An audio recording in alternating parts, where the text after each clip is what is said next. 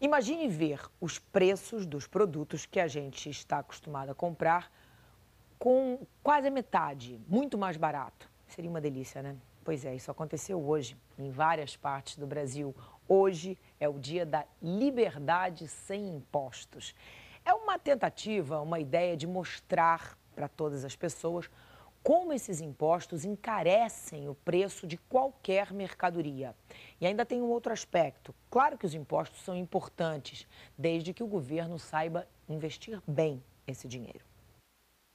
Pão, manteiga, café com leite e impostos. Eles estão embutidos nos preços de quase tudo e muitas vezes a gente nem percebe. O ICMS, Imposto sobre Circulação de Mercadorias e Serviços, corresponde a 18% do valor dos produtos em geral. Uma das alíquotas mais altas do mundo, a taxação de imposto em cima da população brasileira. Os chamados tributos indiretos também são cobrados nas contas de serviços públicos, como água, telefone e luz. A minha conta de energia hoje gira em torno de 240, 230 reais. Imagina menos esse imposto, quanto cairia a minha energia? O contribuinte também precisa arcar com as taxas que incidem sobre o patrimônio. IPTU, IPVA levam de 2 a 5% do valor do imóvel ou do veículo. IPVA meu foi 840 reais. IPTU? IPTU 660.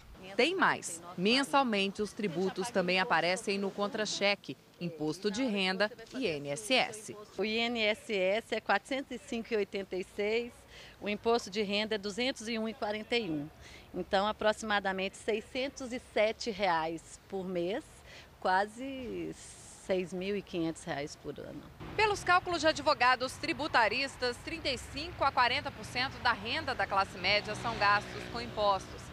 A queixa da maioria das pessoas é que o dinheiro arrecadado pelos governos federal, estadual e municipal nem sempre volta para a população em serviços de qualidade. Os laboratórios públicos estão sempre lotados. Eu tenho o direito, e como todo cidadão brasileiro, tenho o direito de ter seus filhos dentro de uma escola pública. O meu ônibus hoje em dia é lotado. Nós defendemos uma reforma tributária, principalmente que fosse capaz de alterar as bases do sistema. Ou seja, fazer com que todos paguem. Porque onde todos pagam, todos podem pagar menos. O que ocorre no Brasil é que poucos pagam tributos diretamente e assim as alíquotas têm que ser altíssimas. Ninguém discute que os impostos são importantes para o crescimento do país.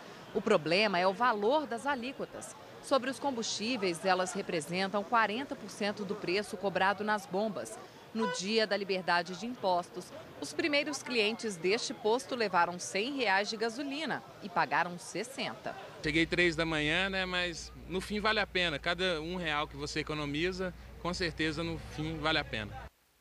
Só para você ter ideia, a gente trabalha, o brasileiro trabalha 145 dias no ano só para pagar impostos.